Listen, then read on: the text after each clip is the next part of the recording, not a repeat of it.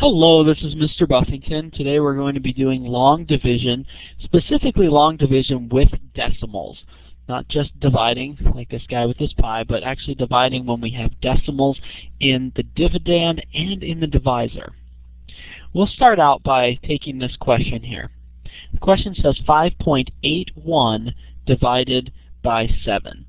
So our dividend here, 5.81, has a decimal. But fortunately, our divisor does not. In this case, we will write the equation out first by putting the original number, the number that went first, inside, and the number that goes second, our divisor, on the outside of our division symbol. Now, because the divisor does not have a decimal, we're going to actually just bring the decimal up. Alright, if there's no decimal on this outside number, we just bring the decimal up and divide like normal.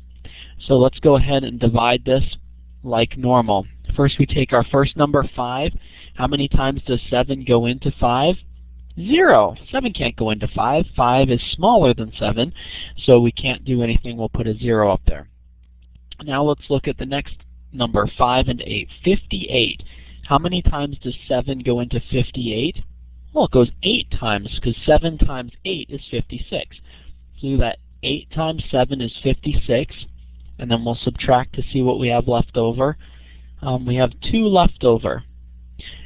So 7 goes into 5.8, 0.8 times, and we have 2 left over, 0.2 left over. We'll bring the 1 down to finish solving this problem. How many times does 7 go into 21? Well, it goes evenly 3 times, 3 times 7 is 21. When we subtract, we end up with a 0. In other words, it's completely solved and evenly goes into there. So 5.81 divided by 7 gives us an even 0.83. All right, again, we have a decimal in the dividend here, and that just goes up right here when you have no decimal in the divisor. Now the next question we're going to look at has a decimal in both numbers. And to do this question, we have to do an extra step. Let's take a look at it. First of all, we'll, we'll set up our question, putting the first number that we see inside and the second number we see on the outside. All right, it's kind of like crisscrossing. Now, we can't have a decimal on the outside. That just makes it really difficult and really challenging. So what we're going to do is we're just going to bump the decimal one place. Alright, I've heard it said like uh, put the ball to the wall, you know, like, I don't know, sports or whatever. Okay, put the ball to the wall. So you bring it over. In this case, we had to move the decimal over one place. We can't just do that to the outside term. We have to do that to the inside number as well. So we are going to move it one place. If you had to move the decimal two places, you would have to move it two places on the inside as well. But in this case, we're moving it one place on the outside, so we'd also move it one place on the inside.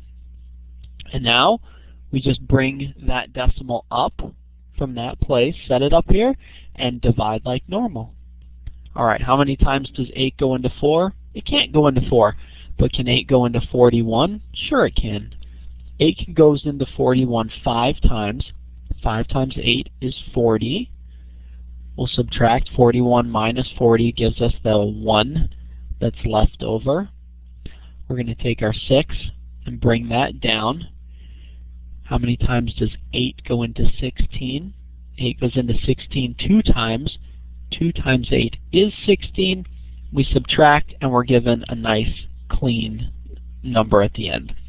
Again, this lesson was not showing us division with a remainder or with um, a decimal answer or a decimal um, dividend, but what it was showing us was that when you have a decimal in either the divisor or the dividend, it's possible to do long division, just remembering our rules.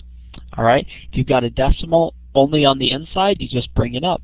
If you've got a decimal on the outside, you bump it over to the right until it hits this wall. Then you move the decimal on the inside the same number of spaces and then divide like normal. I hope that that review has been helpful for you and you have a wonderful day.